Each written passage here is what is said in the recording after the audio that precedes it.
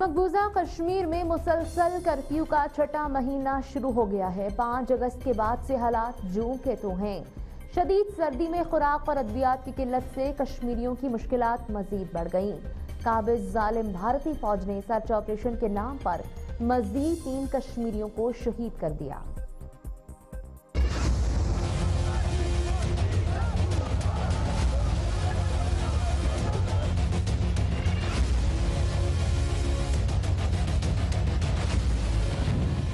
مقبوضہ کشمیر میں بدترین کرفیو اور لاک ڈاؤن کا چھٹا مہینہ شروع ہو گیا۔ کشمیریوں کا پل پل عذاب میں گزر رہا ہے۔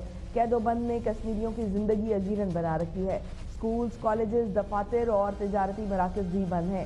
انٹرنیٹ اور موبائل فون سروس بھی تاحال معطل ہے۔ وادی میں کھانے پینے کی اشیاء کی شدید قلت کے باعث بچے بھوک سے دم توڑنے لگے۔ ادھر برف باری نے کشمیریوں کی مشکلات میں مزید اضافہ کر دیا ہے۔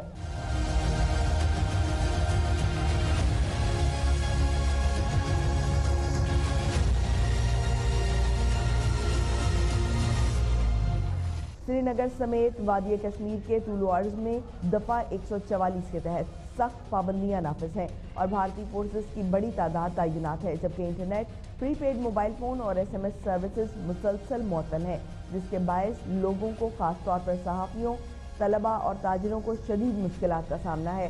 ادھر برف باری نے کشمیریوں کی مشکلات مزید بڑھا دی ہیں۔ شدید سردی میں کشمیری بوڑھے اور بچے بیمار پڑ رہے ہیں، لیکن علاج معالجے کی تمام راہیں بند ہیں۔ اسی لاکھ کشمیری بھارتی جب سے نجات کے لیے دنیا کی طرف دیکھ رہے ہیں۔